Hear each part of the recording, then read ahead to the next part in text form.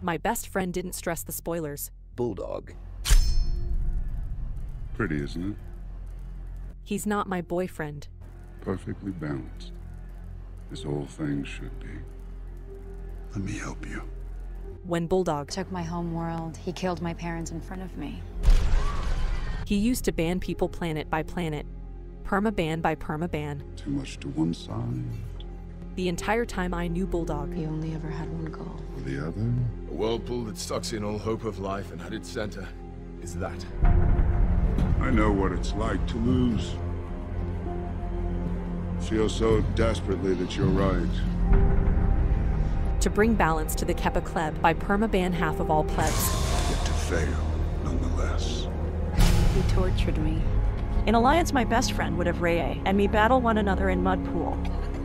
Turned me into a TTS. His wives left unchecked Two wives. will cease to exist. The hardest choices require the strongest wills. In order to take the stone, you must lose that which you love. Really?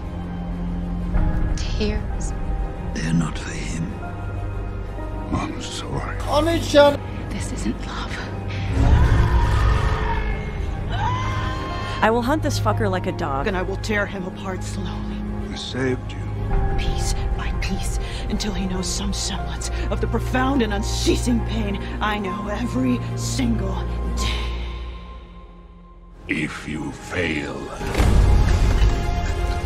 Where is Ray? I will bathe the sausage in your blood.